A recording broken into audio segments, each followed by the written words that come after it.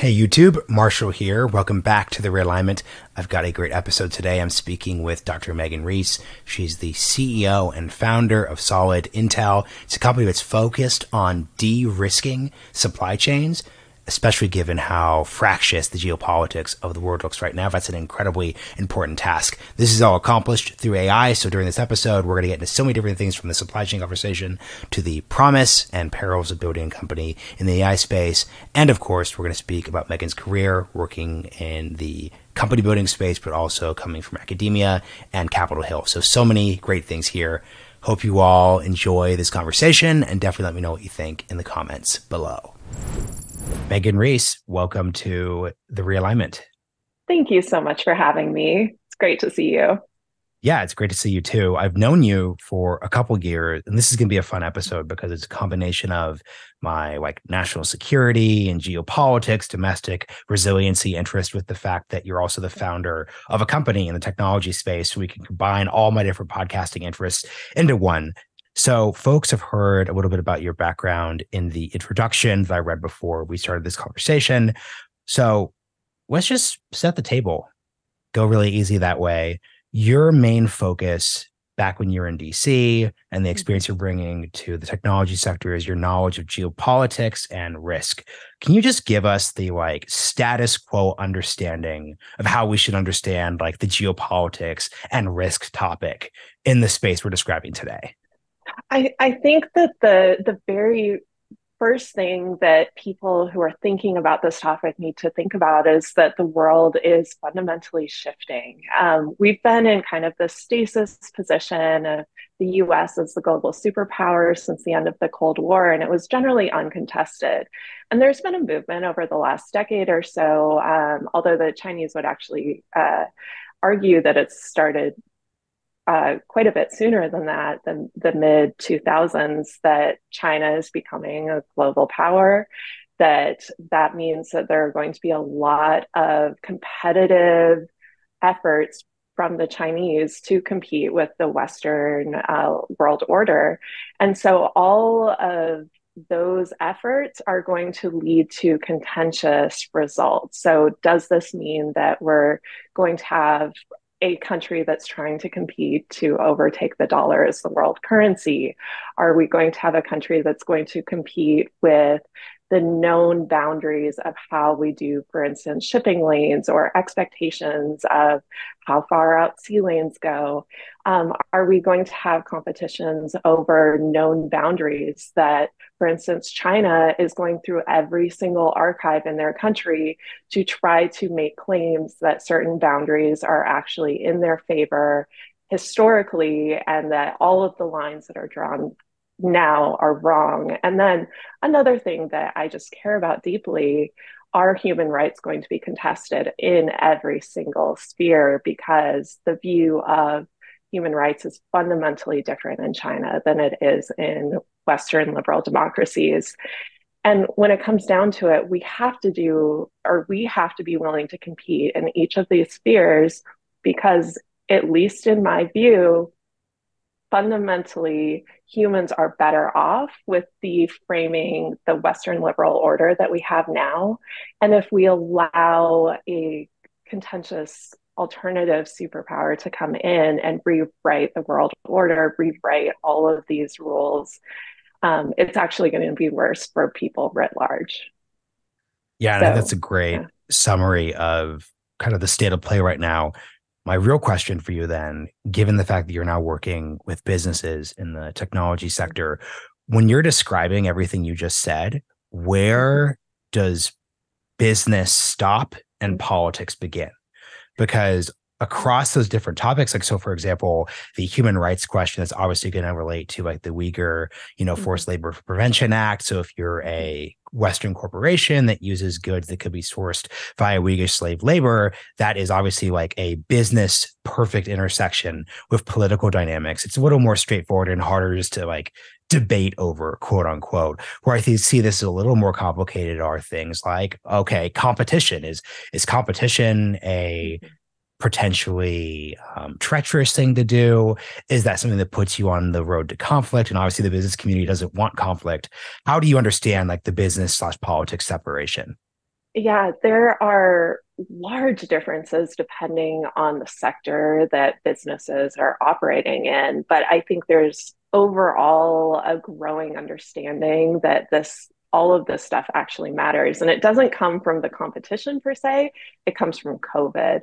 But if you look at, say, the defense sector, there's there's obviously clear understanding that if you have problematic technological components in your widget that that could lead to a risk factor um, if it's coming from china or russia or someplace problematic that there could be you know bad code there could be um, viruses all of that stuff. But if you're looking at something like agriculture then maybe you don't have any concerns other than some of these forced labor issues um, if you're looking at solar panels, you've you've you know just need to get your stuff to market, but also you've dealt with you know IP theft. So depending on the sector, there's different recognition of the problems. Um, but when it comes down to it, there there is going to be, in in my view, a growing and growing understanding of the overall risk if you see some of these shifts happening, um, or if you see some sort of flashpoint where there where there's some economic separation. So what I think is happening, especially in Europe, um, the US is actually a little ahead of the curve compared to, um, say, Germany. You're you're going to start seeing some hedging. You're going to see some, uh, you know, creating copy supply chains in less risky countries just in case stuff happens. But for especially smaller companies that don't really have these like massive groups to, to kind of seek out alternatives, they're mostly hoping for the best um, while recognizing there are problems. So, what you know, I'm spending a lot of time thinking about how to make sure that people understand risk in these areas and then also move on it when it becomes necessary to do so. And ideally, even ahead of time, which is something the business community does not love doing. Something I'd love to understand because it kind of illustrates the risk dynamic helpfully is what do you see if you're speaking with a business you're working with hmm. as the opportunity when it comes to foreign markets, especially those in Asia broadly because it's kind of funny. We've spent so much time talking about the very obvious risks, and that's everything from COVID to trade wars during the 2010s with the Trump administration, many policies of which were carried over by the Biden administration. But if we were to go back to, you know, like when you and I were like in high school, so much of the conversation around Asia was just purely opportunity based, like mm-hmm. the cliches, the world is flat, globalization is happening, there's always opportunity there. Now that we focus so much on the risk side of things, what do you see as the opportunity yeah. um, circa 2023? I so so I, I should clarify most businesses still see the Chinese market as like the the best possible thing because there are so many people. But as as businesses are becoming a little more cognizant of risk issues, they're they're really trying to think about alternative markets um, for supply chains, for instance, and because the Chinese market is getting more expensive for production, looking in Southeast Asia, for instance, you can actually find sometimes cheaper alternatives going to Mexico, Mexico is, you know, sometimes hard to find uh, like the right supplier. They're sometimes behind the ball on, you know, making sure that you you know where to look. But they may end up being cheaper than China is at the moment, as China is going up um, in in what they're paying employees, for instance. And so the cost actually may be flat. It may be in some places lower it may be higher let's be honest. Um, so it's just balancing all of these things. And i think that companies are trying to figure out how how much time can we get in the chinese market for supply chains before we have to shift but also recognizing there's a lot of movement towards shifting regardless of risk or just other factors coming into play the way you set that up also leads to a useful follow-up question what is the difference when it comes to the opportunity of serving the chinese market so like mm-hmm. selling your goods in the chinese market mm-hmm. versus relying on the chinese market for production of goods that will go elsewhere mm-hmm. how would you mm-hmm. differentiate those two opportunities I mean, the, this is this is the big Trump tariff war, right? Like, can can we sell into the Chinese market at the the right um, amount and make sure that the Chinese don't have so many restrictions that they keep our goods from coming in? And everything that I'm seeing is saying that Xi is actually going to go like more um, opposing importation of goods. So there's um, Matt Pottinger, the former uh, deputy national security advisor under Trump, he wrote an article in Foreign Affairs not too long ago that kind of highlights the food issue, for instance. So China has, um, you know, tons of people. They are not that great at producing agricultural goods compared to other parts of the world. They're just not, they, they don't have the Ukraine breadbasket, I'll say that. And Xi is moving people towards um, needing self-sufficiency in agriculture. So that's one of the goals of the ccp at the moment is how do we get to a point of self-sufficiency not just there but in all of these other sectors? And in my view you only have these aspirations of self-sufficiency if you're planning on either doing something that causes the reduced importation of goods from the outside um, or kind of assuming there will be a lot of the goods will be sanctioned. So at the moment, the key thing is know, just to understand yeah. this. Yes, the self sufficiency is not economically ideal or efficient. Mm-hmm. Correct? Oh, of course not. Yeah. It, you know that's never because because I'm just saying goal. this because like you know the with when you're dealing with like mixed audiences of people yeah sometimes with these trade centric conversations specific phrasings just sound ideal so like why would we not be self-sufficient with food. Yeah. Um, so the point is that like there's a it's a balancing act, and what you're arguing yeah. and what Pottinger's arguing is they've crossed over between the balancing act of sufficiency relative to outsiderism towards this is very economically inefficient, and you'd be just doing this as a hedging risk thing. As a hedging risk, yes. So so while they're not there on all of these different um, sectors of the economy as far as import like banning imports or anything. The the hedging on this stuff is very very interesting, and I think they're they're huge indicators of where the Chinese market is going. So it doesn't mean move away from it now, um, but it means spend a lot of time thinking about what this looks like if this is not an open market going forward. And so I, I think pretty much every company that relies on this market needs to be thinking about that really seriously. Yeah, I think this is a good pivot to what you are actually doing with uh, your company, SolidIntel. Yeah, just please introduce it, take it yeah. wherever uh, direction you want to go, and then we'll of course get into the you know academia to the hill to the mm-hmm. uh, CEO company founding uh, discussion. But yeah, just start with the company. Wonderful. Um, yes, yeah, so I left the Hill not too long ago and founded an AI company um, that we are actually helping SMEs in particular understand and what's an SME? Uh, small and mid-sized enterprises, smaller mid-sized businesses. You know, heavy focus on the mid-size. Let's be honest, and helping them understand the risk in their supply chains and then de-risk. So AI has been enormously helpful in helping disaggregate the components of the supply chain and then really understand where risk lies in each different uh, node of the supply chain. So the the precursor for this is I spent, you know, a lot of time on the Hill thinking about things like the Uyghur Forced Labor Prevention Act and getting an influx of companies telling us that we don't know our supply chains well enough to comply with the provisions of the law. This law is actually very, very strict and says that if you have any components in your supply chain that are made in this specific geographic region in China, the presumption is they're made with forced labor. And those goods can be seized as they're coming through our, our ports. And the administration is actually really starting to ramp up enforcement of this law.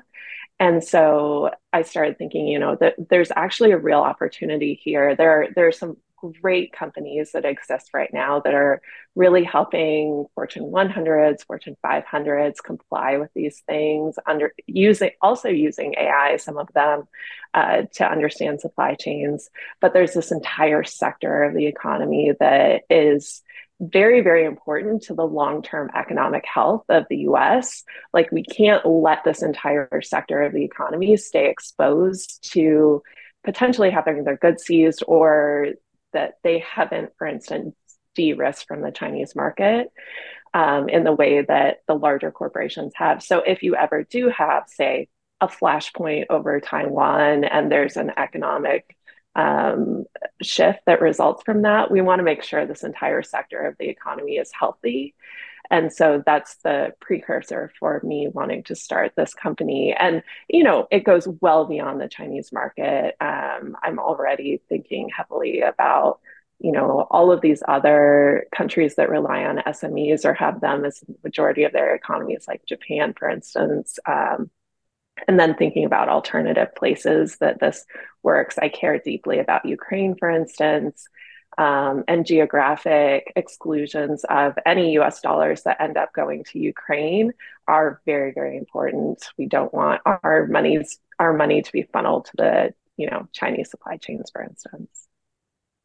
Yeah, no, and uh, the reason why I'm glad I asked for the definition of SME is we all have specific very specific understandings of what like a Fortune 100 is or yes. a Fortune 500.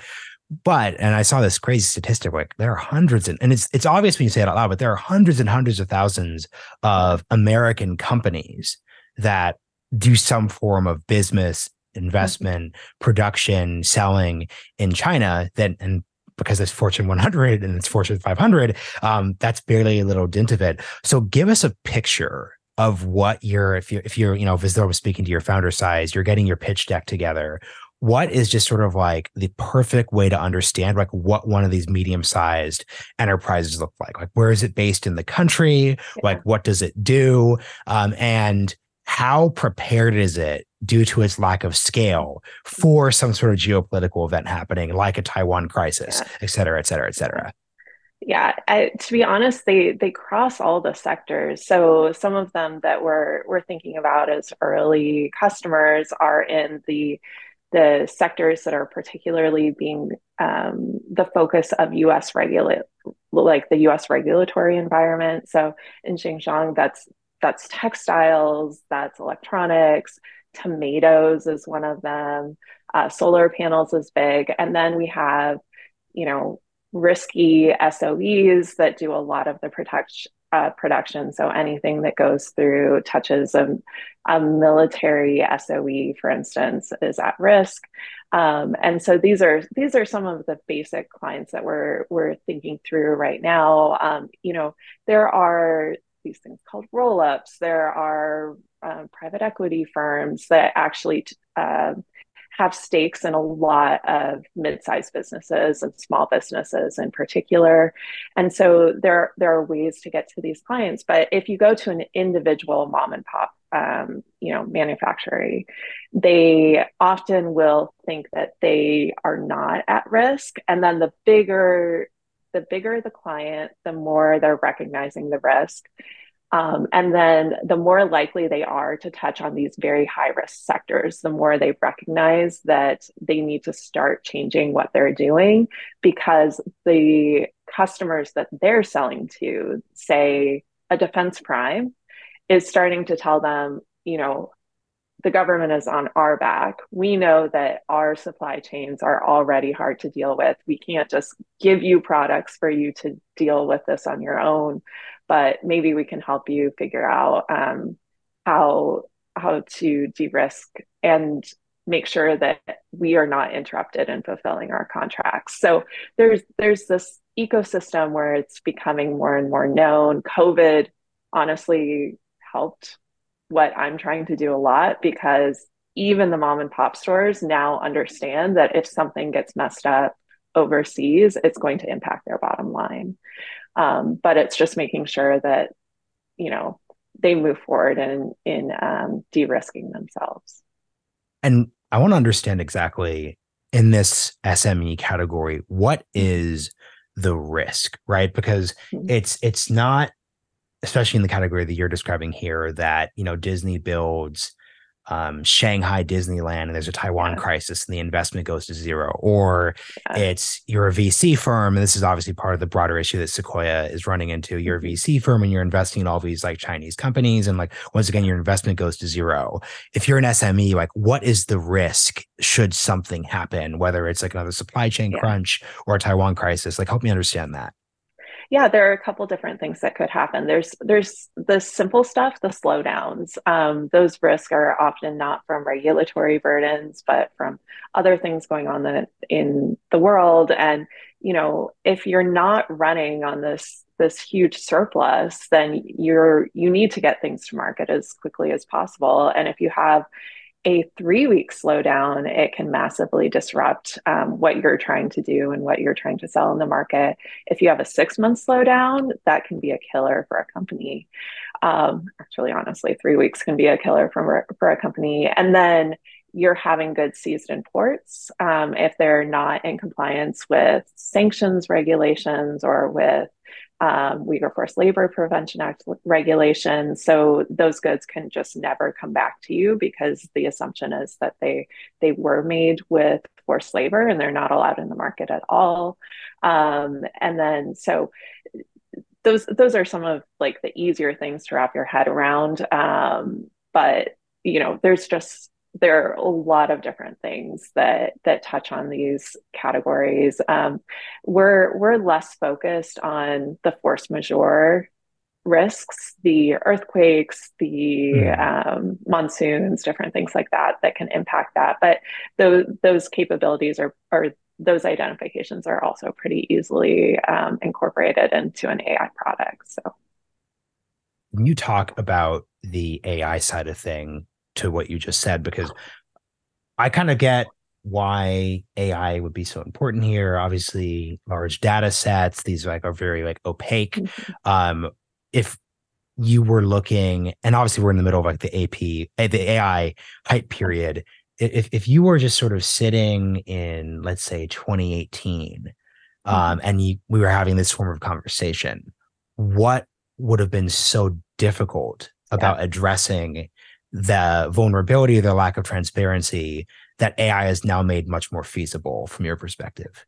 Yeah. Um, I probably won't get too into what we've been able to do with our product that we're really excited about, but on a really high level, um, there is, it depends on the market you're in, of course, but China, you you you guys have read the stories. Your listeners have read the stories. They're kicking out auditors. They're passing all of these laws about espionage and all of these different things that they're. I actually didn't. Are... I'm actually not. I'm, you, oh. you caught me. I'm not, oh, I'm not reading I? these stories. So yeah, oh, please yeah. Uh, tell me tell me more. Yeah. Yes.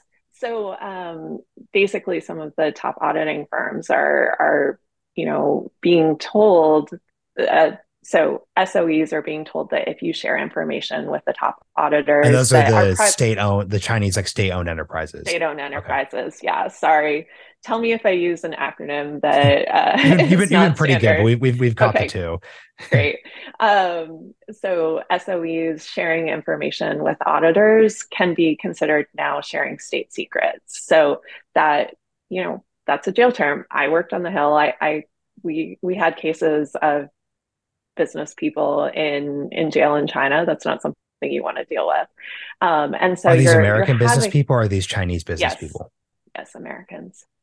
And so you um, but but this case is, you know, the Chinese are at risk themselves of um, sharing state secrets. It's unclear what counts as a state secret, and so auditors are, you know, not able to do the job they were doing before. And so you're starting to see like how are you going to be able to comply with us laws um, and regulations on these things honestly you're going to have to use tech tools to do it um, other things that ai is actually great at that wasn't really feasible Wait, quick before. pause what, what oh. just to just to understand this mm-hmm. right like yeah. why is it a given that you have to use tech? so like let me think about it this way right mm-hmm. this is me speaking as a podcaster slash yeah. like think tanky person i imagine that if i'm building a widget there's just like mm-hmm. an Excel spreadsheet that lists all the components of the widget. Yeah. And therefore, yes. like, what tech do you need beyond like the ability to read Microsoft Excel? I know it's obviously not that yeah. simple. You wouldn't have an opportunity if it was, but like explain yeah. like the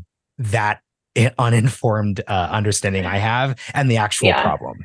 First of all, you don't always know all of the components in your widget, but ideally you know all the components in your widget, but you have to know where all the, the things come from. And upstream supply chains, usually companies, especially in the SME category, know their first supplier.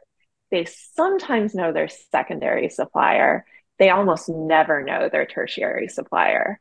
And so all the all the entire upstream beyond usually the primary is pretty opaque to them. They never really try to know what that is. And now our laws and regulations, they all we always had forced labor laws. We always had some of these prohibitions, but we didn't really enforce them and we didn't create these like massive regulatory um, compliance uh, structures that you know the forced labor prevention act has in place now. And so you're telling people to know your entire upstream and yet they don't know it. So you have to either figure out you know do we send an auditor to each of these places to ensure compliance the entire upstream line? Or is there a way that we can identify the risk at least at the level the US government can do so um, through tech. And honestly, that is significantly, significantly cheaper and less burdensome on the company. But it's happening at the same time that China is making it a lot more difficult for the on the ground people to do that upstream compliance um, and tracing. So this this is the right time for this. Um, there's there's some other stuff though that AI makes a lot easier. So I come from the national security world. Um, and China is one of those countries. We have SOE, state owned enterprises, acronyms. Um, and they, you know, a lot of them are places that we don't want US investment in, into these companies. And that's that's actually a big movement on the Hill is identifying kind of the risky SOE sectors. Um, and like like anywhere else. You're going to see subsidiaries and you're going to see companies that have, you know, the same name or a slightly differentiated name. Um, keeping, they're going to be associated with a sanctioned person that may go by multiple different names or it doesn't translate easily into the English language, you know, first and last name sh- switching or like different versions of first and last name. And so AI is actually much better at identifying these subsidiaries. They're much better at identifying, you know, um, different versions of the same name, different versions of the same people. And so we're we're able to see a lot more into this than we would have been able to like pre chat GPT. And just zooming out and just asking, you know, the AI space is obviously the hot space right mm-hmm. now. And once again, we're still in a bit of a tech downturn. So the term like hot space means not quite yeah. the same thing it meant when it's mid 2021, you're a crypto founder. But you just talk about like the AI space in general, like not in terms of like, yeah. is it good? Is it bad? More just like, what's it like to be in the middle of that at this moment? I so I I understand why people are freaked out. I do get it, but working in this and working with you know my technical co-founders and other engineers i'm just spending a lot of time being really excited about what is feasible now that would have been much more difficult a couple years ago. And you know spending a lot of time exploring what what can we build? What can we build quickly? How do we get things to market in a way that would have taken much, much longer, would have been honestly less interesting mm-hmm. um, than it was before. And I think that, you know, as all of these conversations about AI risk and, you know, all of the bad things happen, my fear is that those become the focus of the conversations. And of course, it has to be part of it. But we have to also seriously think about what the benefits are and make sure that we don't regulate ourselves out of receiving those benefits. So I spend a lot of time thinking and talking to other founders about that. And, you know, uh, we're still in, we're, we're pre go to market. So we're still in this exploring, building, um, and being very excited stage of our company. And AI is the reason it's possible. So we are going to take a bit of a narrative pivot. Realignment listeners know that typically these episodes are very much like guest, tell me your policy expertise. I'm not really interested in the biographical thing. But that said, especially because I've, I've known you since like 2016, yeah. um, you at a career level, like, you know, Stanford, you go to get your PhD at, you know, University of Texas, you go work on the Halo on your founding uh, a, a, technology company. You're like the Bo ideal of a realignment listener. I, am preparing my grant, uh, grant um, proposals. And the question they always ask is like, what's your listener? And like, you, you actually are if if if I'm thinking of what I want, like a 21, 22, 23 year old staff assistant on the hill to be like thinking they could do with their career, like it's actually you. Um, so now that I gave that compliment, like I want to talk about like that background and how this all kind of came together. I'm going to jump around a bunch of different places. Mm-hmm. Um, so forgive me if it's not perfectly narratively tight. So number one, you said something uh, a minute ago where you referenced that you are not a you are not the technical co-founder. Um, and anyone who is jumping from DC world and then is entering into technology world like Silicon Valley, venture capital, et cetera, et cetera, et cetera, will be introduced to this idea of like the technical co-founder, someone yeah. who could code, someone who could like build something. Um, and oftentimes, if you are a non-technical co-founder, you're going to want to find a technical co-founder, not just to yeah. build the product, but even raise the money. Um, do you regret it all, especially because you were at Stanford in the 2000s, not learning to code and oh. becoming technical relative to the time you spent getting a PhD and working in a social science category? Not even a little bit. I so the only reason my company exists is because this background, you know, getting a PhD, being in this policy world, the only reason this company exists in any real way is because I spent so many years, so many years developing expertise to be able to understand the geopolitical environment and see where opportunity exists. And Stanford's really unique in that, you know, I, I did I did grow up in this world. I grew up in the world of brilliant people using technical skills to try to change the world and so i i knew that was always feasible and i didn't have to be the person coding to be able to use that as part of my like career trajectory. And so this this is just a thing that I, I actually think that more non-technical people need to think seriously about is where can our skill set be used? Because we do have a skill set. We uh, like there's there's no way I spent that much time in DC without developing at least a little bit of knowledge about how the geopolitical winds were shifting, um, and and using it to team up with the technical expertise is kind of the sweet spot. Yeah, it's kind of interesting because as a we're in the middle of this uh, narrative reset around the skills and the backgrounds of what a mm-hmm. successful founder looks like because now we're discovering that a like as the type of problems you're attempting to solve using technology the internet et cetera yeah. are changing that and the funding environment so like the zero interest rate phenomenon ZIRP um the that's going to change it but i think of the line you would think of during the two, 2010s of like well, guess what? Like Travis Kalanick didn't know how the taxi industry did, worked. Um, like, like a lot, a lot of these founders and these these people who built big companies and what separate when what the companies ever became profitable, but but a, but a baseline level, they were not the the the advantage of being able to be of being technical and of of being able to like iterate quickly um obviated like deep experience in a category. Yeah. Um, so I guess my question to you is to what degree do you think there could be a technical founder in your category who could do what you're doing without the yeah. policy, history, et cetera, expertise? Yeah. Um, it, listen, I feel pretty confident that you could build something. Um, but there has to be some knowledge base on what what is coming down the line that a pure technical capability can't get at. And what we hope to be delivering to our clients is not just the risk where it lies now, but the risk that we see coming down the pipeline. And unless you can figure out how to do that, and as as great as you know a ChatGPT is it's not going to be able to do that particularly successfully um, so unless you have that knowledge base i don't I, I just don't think you can deliver as great of a product.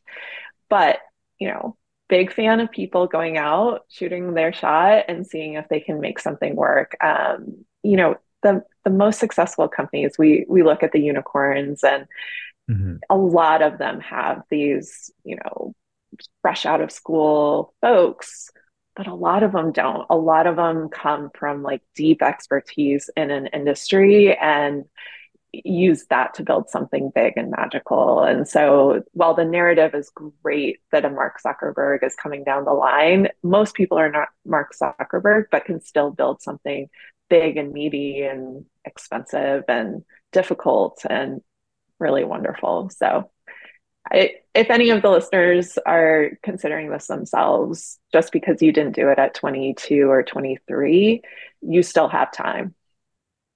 Yeah. And the other place to jump then is you went to get a PhD after mm-hmm. your time at Stanford. You're obviously in academia. There's a lot of kind of, uh, let's say, pessimism um, around like academia and the PhD construct. I'm like happy that my podcasting has just helped me kind of like hack around that yeah. system. Um, so yeah. I'm able to work work in think tank world, but it's because I very specifically developed a skill set. It wasn't like, hey, Hudson Institute, hey, UT, you know, I'm a policy yeah. expert. And they're like, where's your PhD? It's like, hey, like I'm good at interviewing and talking to people. That's a skill set you need. So that's my own personal piece of advice for folks. Like, if you want to work in these systems, be sure to develop like a critical skill set, dif- differentiated from just pure book learning.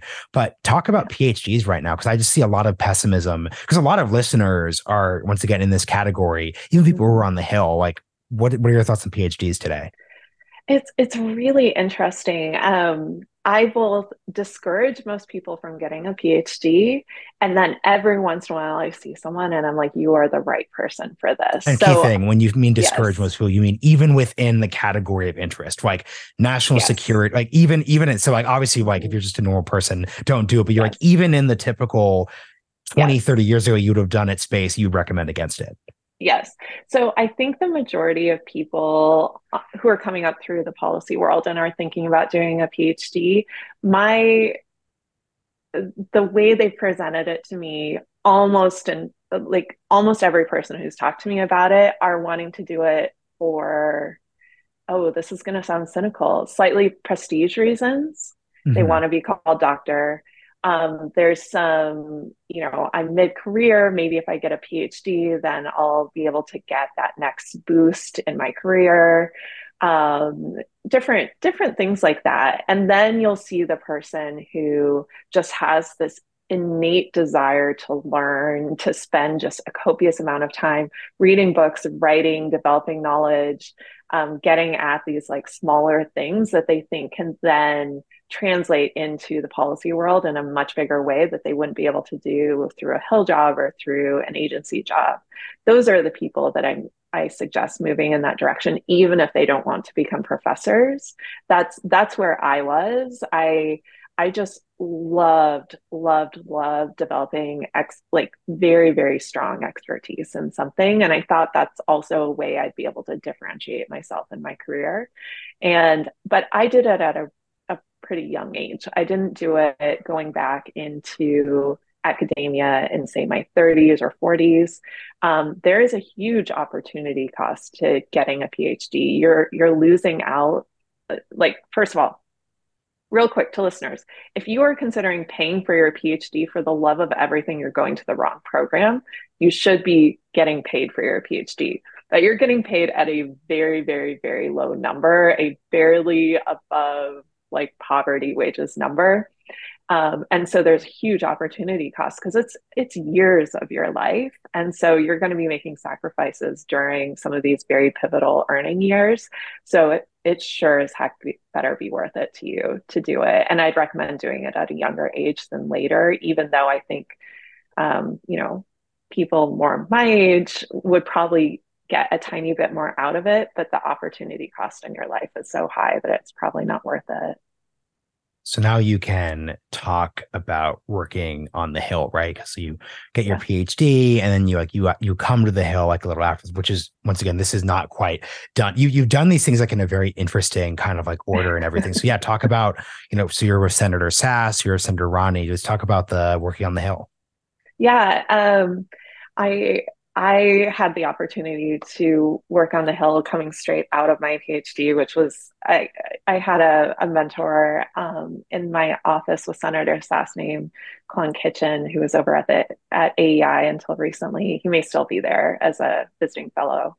Um, and he just told me spend your entire first year treating this like you're getting a master's degree in Hill studies because you will have no idea what's going on for the entire first year you're there. It's a an institution of archaic rules. You never know what's happening. You have you come with a plethora of like really interesting, fun ideas that should turn into policy and would make the world better, but you have no idea how to translate it in your first year there.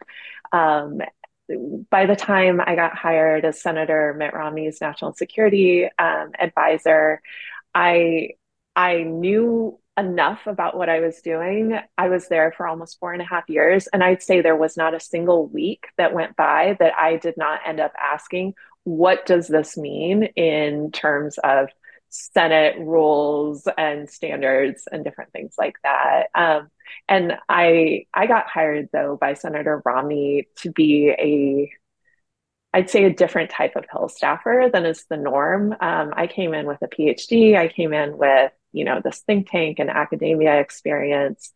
And one of the things my old chief of staff chief of staff and i talked about as i was getting hired was having the expectation that i am still reading roughly a book a week just to to continue increasing my knowledge level that i continue to engage with hill and academia to make sure that we were at the forefront of new academic information coming down the line. And that is just a completely atypical experience for a Hill staffer. But they wanted someone who came in with this great, like, great politics background, um, who knew all of these different worlds and was able to draw from these networks in a way that I wouldn't say the typical Hill staffer knows how to do. So, to really sum everything up, like, what would you say? Because we're in the career section of this episode in the future for me. What would you say the opportunity is for your prime 20 something realignment listener who probably works in DC or has worked in tech and kind of wants to like switch over and do something different. It could come from both angles. Like, what would you kind of say is the opportunity um, right now if you're interested in the type of stuff that like we're discussing here? Well, I'd say that there's actually, this is a very unique time if you are interested in this tech and policy world. This is the point where all of the members are starting to realize hey this is very important maybe we should maybe we should draw in people who know what they're talking about and the thing is you know, when you're 25, 26, keep a little bit of humil- humility. You have so much you still need to learn, but you you do have value add to this world, and so just jump jump in. Um, like, be willing to take a slightly lower paying job, um, ideally at a higher level, so I know that's a weird thing, but maybe start at a slightly higher level on the House side and jump over to the Senate, or um, start on the Senate side, but with a very clear trajectory up so that you can get into this like meaty, difficult, interesting policy stuff as soon as possible. Um, don't delay it. You know, get your master's degree. Often, a lot of offices won't hire people without master's degrees, which is dumb. I don't. I don't actually think they they fundamentally change the work product of people that I'm seeing with them or without them, but it, it's often kind of a barrier to entry. So have something like that, but just jump in and and start start doing. You like all of your listeners are going to be smart, interesting people, and they're fully capable of doing all these different things. Also, be willing to take unexpected um, career trajectories. Don't don't set out your goal at 22 and say it has to look like this at every step. If I had done that, I would be a pediatric surgeon in Omaha right now. Um, because your your major is biochem, right? Undergrad, uh, human biology. Yeah, okay. I I was I was on the pre med track. I was up like interviewing at med schools when I decided to shift, and being willing to shift when you're young is very. I mean, it it changed my life it's so much better because of it. So be willing to shift if you find yourself being interested in something that's unexpected. It will create really interesting opportunities. That's awesome. So this is a great place to end the conversation. Uh, Megan, where should uh, folks go to learn more about your work? I know you're you're a fellow at the um, Atlantic Council. Um, you know, where should they go learn about that? Learn about SolidIntel, all that great stuff. Well, we are still um, in the developer stage, so our website is maybe not at the part of the place that we want it to be when we have a full influx of people coming. But feel free to visit our solidintel.com webpage, um, and then reach out to me on LinkedIn or Twitter, and I'd be happy to chat. Great, Megan. Thank you Excellent. for joining me on the realignment. Excellent. Thank you, Marshall.